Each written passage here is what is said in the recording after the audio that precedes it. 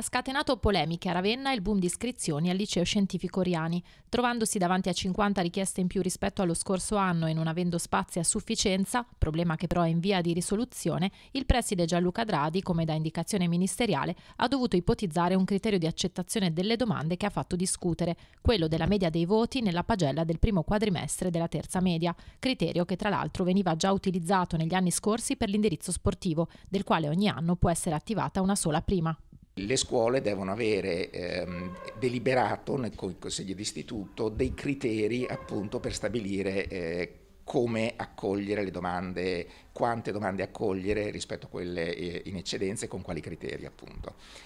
Noi abbiamo individuato questo, cioè quello del merito scolastico desunto dalla pagella del primo trimestre o quadrimestre delle scuole medie, non per un'idea di, di, una scuola che non può essere affrontata da qualunque studente, ma semplicemente perché pur con la sua imperfezione